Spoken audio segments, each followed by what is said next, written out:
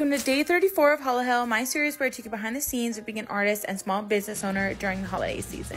I just had a really big holiday market this past weekend, so now that I'm back in my studio, it is a day filled with just doing orders. I had 52 pending orders as of this morning. I did up a bunch for local pickup first, then I chipped away the ones that I had to ship. A lot of those were actually just waiting on ornaments to dry because I had to paint a bunch of extra ones. I wasn't even going to list the Northern Lights ones, and then I did, and literally every single order had one, but I had a bunch of extra ornaments and I was like, well, I'll just paint more and they'll dry pretty quickly and then I'll fill the orders with those. So here we are today fulfilling those orders. I think by the end of the day, I had about 30 or so left to fulfill and each of them was just kind of waiting on random things in my studio. I love putting time and care and effort into these packages, especially at Christmas time. I always pretend like I'm sending a special package to like a close friend or my sister or something like that. A large business is not going to have a thank you note in it, let alone a handwritten one. That is like highly personal and I often throw in some freebies as well.